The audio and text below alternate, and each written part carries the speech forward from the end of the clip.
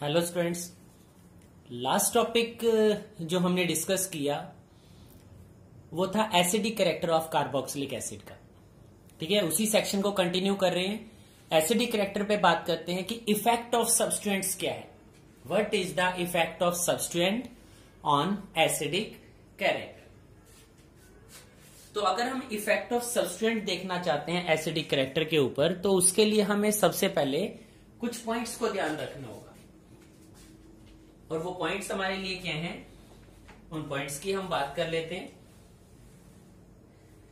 तो सबसे पहला जो सेक्शन है, जो सबसे पहला पॉइंट है, जिसको मैं यहाँ डिस्कस करना चाहूँगा,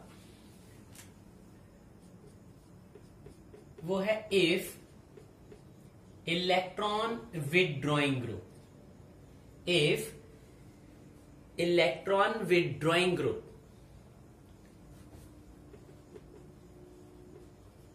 is attached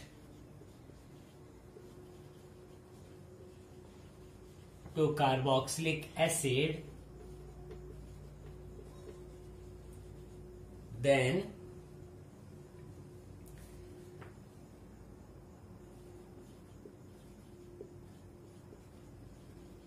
acidic character will increase.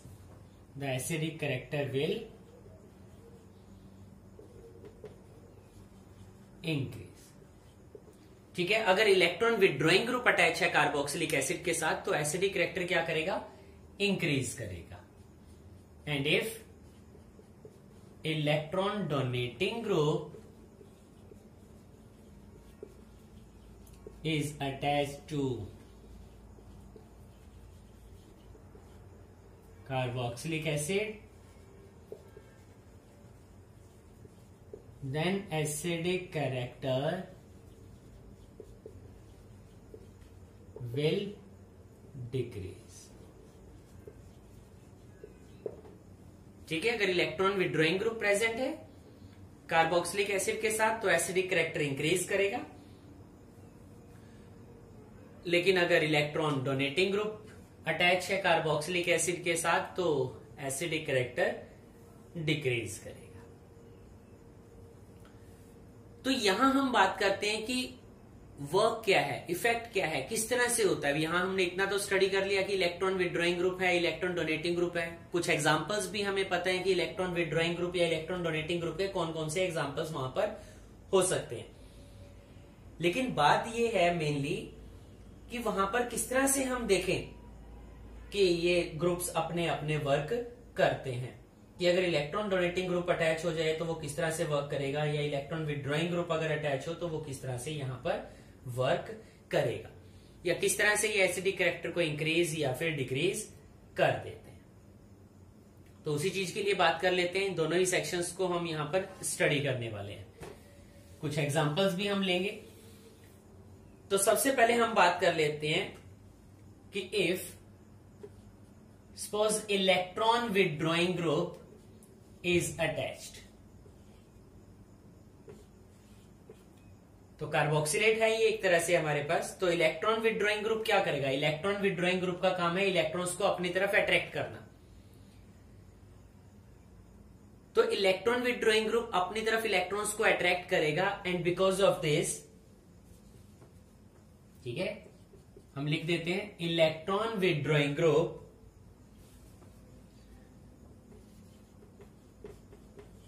disperse the negative charge on the carboxylate ion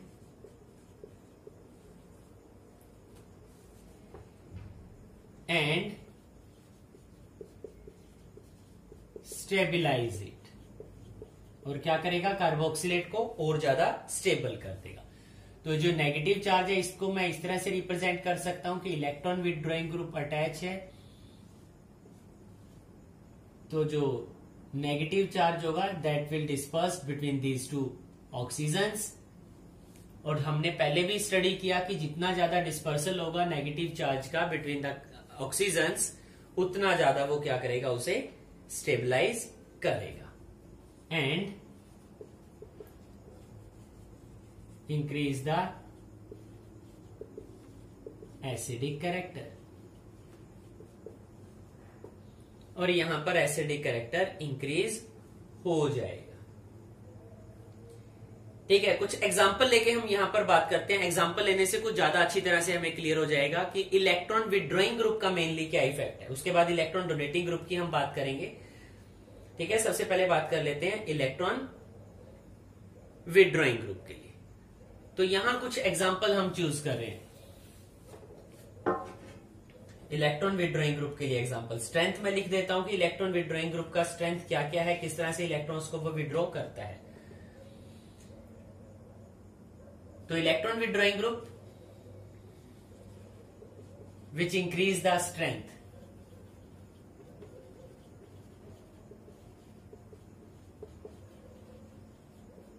थोड़ा कंपैरिजन करना हमारे लिए इजी हो जाएगा।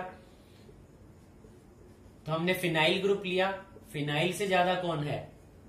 आयोडीन है हमारे पास then we have B R then we have C L then we have F we have C N we have N O two we have C three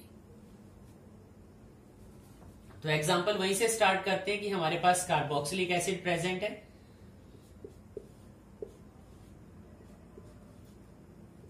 और उसके साथ अटैच है सी एफ़ थ्री तो इसको अगर मुझे नेम करना हो तो मैं नेम कर सकता हूँ ट्राई फ्लोरो एसिटिक एसिड क्योंकि तीन फ्लोरिन वहाँ पर अटैच है। तो इसलिए हम कह सकते हैं ट्राई फ्लोरो एसिडिक एसिड तो यहाँ जो ये तीनों फ्लोरिन प्रेजेंट है, वो इलेक्ट्रॉन्स को अपनी तरफ़ विड्रॉ करेंगे। या हम बात यहाँ कर सकते हैं माइनस आई इफ़ेक्ट का। कि जो एफ़ है, तीन एफ़ यहाँ प्रेजेंट है तो माइनस आई इफ़ेक्ट ज़्यादा होगा। और माइनस आई इफ़ेक्ट ज़्यादा होगा इलेक्ट्रॉन्स को अपनी तरफ़ विड्रॉ करेंगे from this carbon and from the oxygen तो जब यहाँ से हम विड्रॉ होने की बात करें due to minus I effect जो इफ़ेक्ट इस ऑक्सीजन के ऊपर पड़ेगा the electron density will be less on the oxygen so the bond between the oxygen and the hydrogen become weak ठीक है? ये बॉन्ड क्या हो जाएगा? Bond become weak and release of H atom become easy.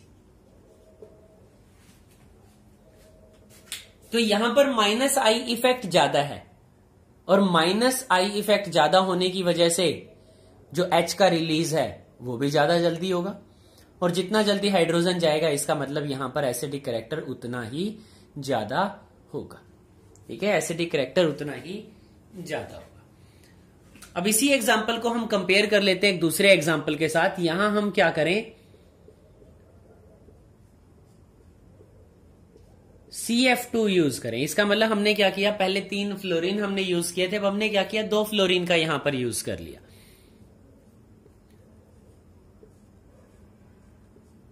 Carboxylic group हमारे पास present है। अभी भी एफ़ क्या करेगा? माइनस आई इफ़ेक्ट शो करेगा।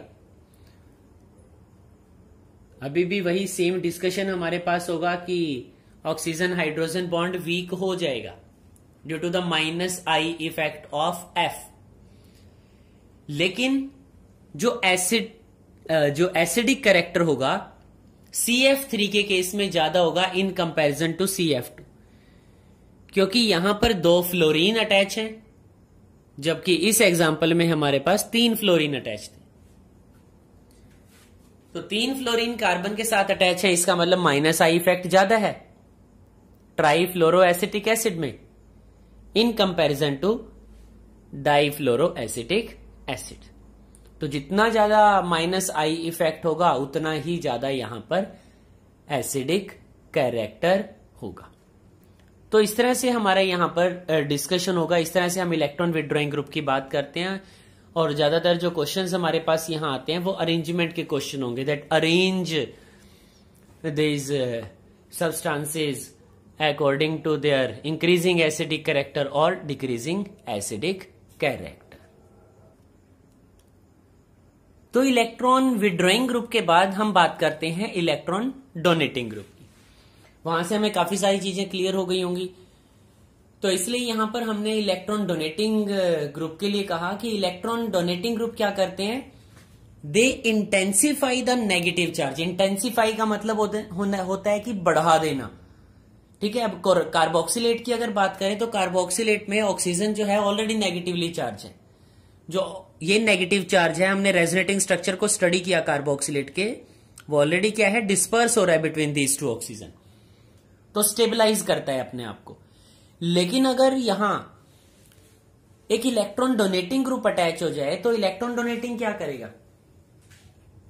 डोनेट करेगा इलेक्ट्रॉन्स और डोनेट करने की वजह से और ज़्यादा नेगेटिव चार्ज बढ़ा देगा यहाँ पर ऑक्सीजन के ऊपर। इसका मतलब लिखा गया इंटेंसिफाई द नेगेटिव चार्ज बढ़ गया नेगेटिव चार्ज और भी ज़्यादा हो गया। तो जितना ज़्यादा इंटेंसिफाई होता चला जाएगा negative charge carboxylate ion destabilize हो जाएगा। अब वो स्टेबल नहीं रहेगा, वो डीस्टेबलाइज हो गया, क्योंकि इतना ज़्यादा नेगेटिव चार्ज उसके ऊपर हो जाता है। And that's why it decreases its acidic character इसीलिए जो एसिडिक स्ट्रेंथ है, जो एसिडिक कैरेक्टर है, वो डिक्रीज करेगा। इसका मतलब इलेक्ट्रॉन डोनेटिंग ग्रुप क्या करता है? इंटेंसिफाई करता है negative charge on the carboxylate ion destabilize it and decrease its acidic character हमने यहाँ पे ऑर्डर लिख दिया कि प्लस आई इफ़ेक्ट किस तरह से इंक्रीज करता है। तो जैसे जैसे अल्काइल ग्रुप जो मिथाइल ग्रुप है, जितने ज़्यादा इंक्रीज करता चला जाएगा, उतना ही ज़्यादा प्लस आई इफ़ेक्ट इंक्रीज करेगा और प्लस आई इफ़ेक्ट जितना ज़्यादा होगा एसिडिक कैरेक्टर उतना ही कम होता चला जाएगा। ठीक है? एक एग्जांपल लेके इसको डिस्कस करते हैं अभी।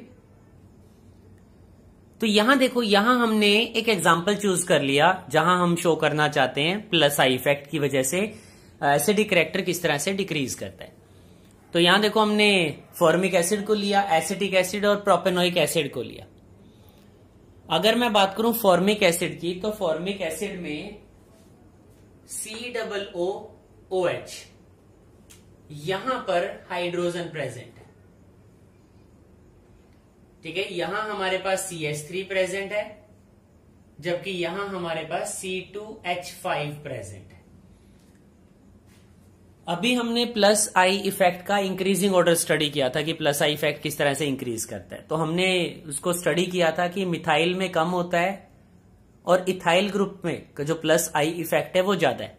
इसका मतलब जैसे जैसे अल्काइल ग्रुप इंक्रीज करेगा, जो प्लस आई इफ़ेक्ट है वो इंक्रीज करता चला जाएगा। सॉरी एसिडिक करेक्टर डिक्रीज करेगा। क्यों डिक्रीज करेगा? क्योंकि देखो सी एस थ्री अगर डोनेट करेगा तो ऑक्सीजन मोर इलेक्ट्रोनेगेटिव है। वो इलेक्ट्रॉन्स को अपनी तरफ़ अट्रैक्ट करेगा।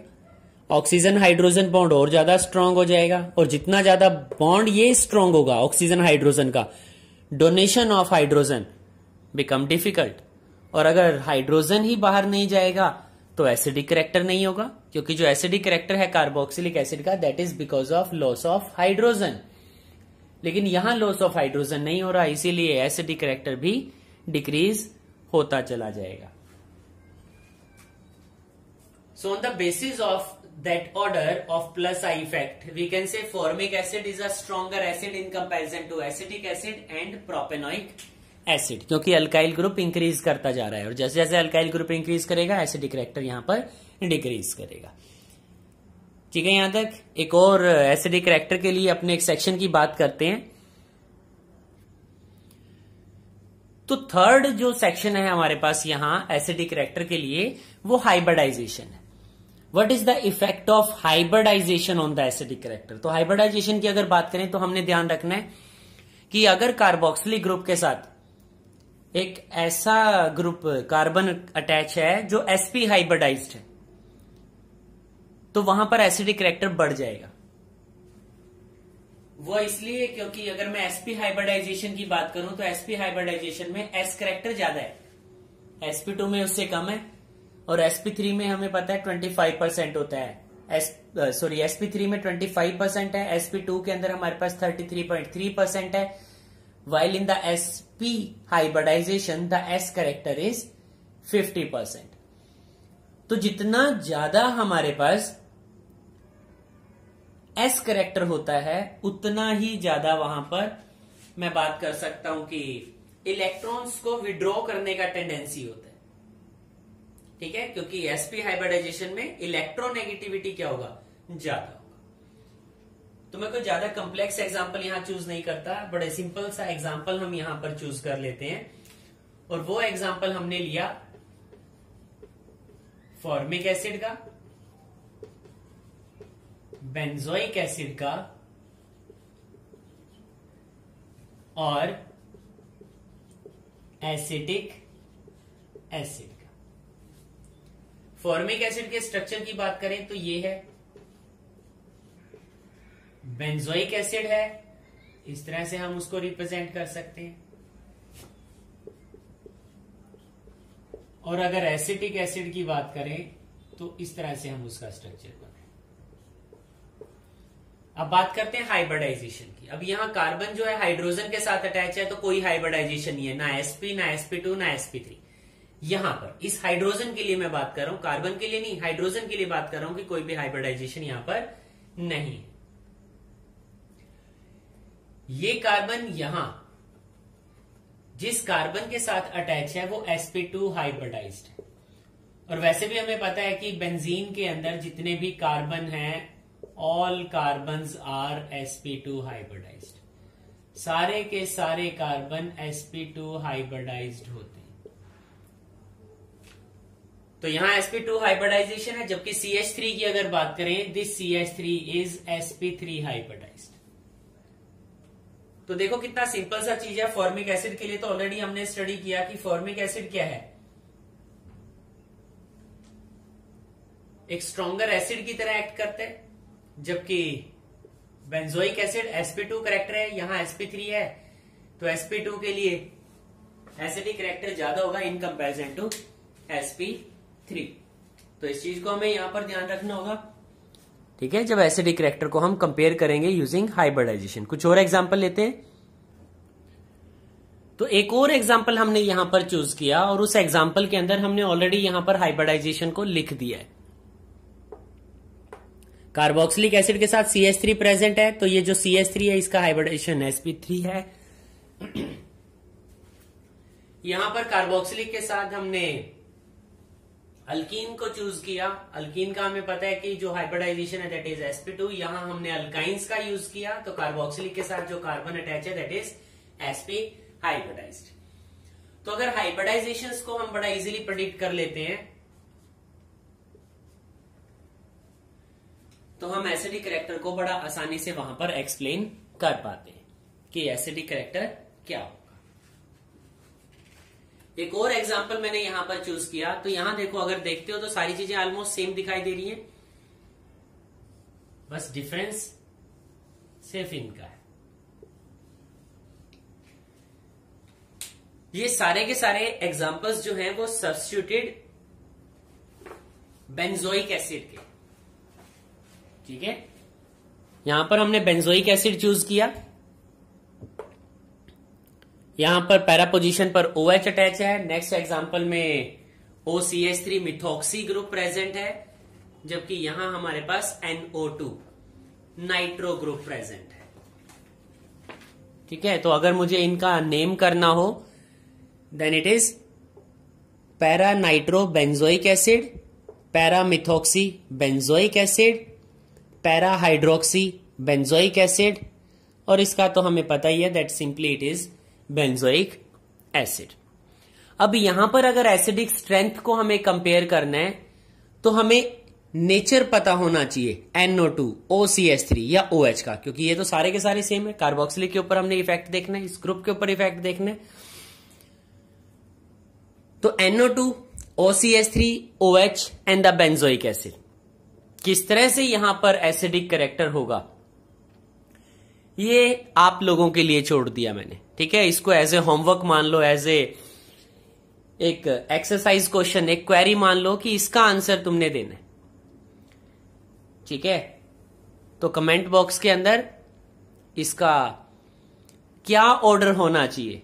वो ऑर्डर लिख के मेरे पास भेजना। अगर किसी भी टाइप का डाउट है यहाँ पर, या अगर यहाँ पर नहीं समझ आ रहा तो किस तरह से अरेंजमेंट करना है तो मुझे यहाँ कमेंट बॉक्स में बता देना। मैं नेक्स्ट वीडियो के अंदर सबसे पहले इस क्वेश्चन का आंसर दूँगा और उसके बाद चलेंगे हम अपने नेक्स्ट टॉपिक को लेकर, जो कि काफ़ी इंपॉर्टेंट होगा। तो बात करेंगे केमिकल प्रॉपर्टीज़ की और केमिकल प्रॉपर्टीज़ को अभी हमने कंटिन्यू करना है। तो काफ़ी ध्यान से इन सारी चीज़ों को स्टडी करना। Okay students thank you